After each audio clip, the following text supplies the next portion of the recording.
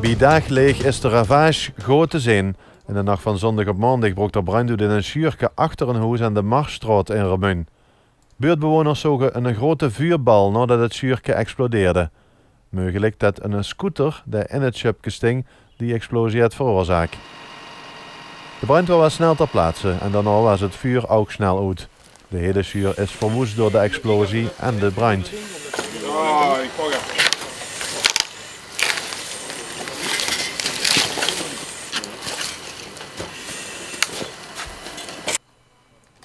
Nu is het een zaak voor de verzekering. Daarvoor is de stichting Salvage ingeschakeld die de bewoners daarbij zal helpen.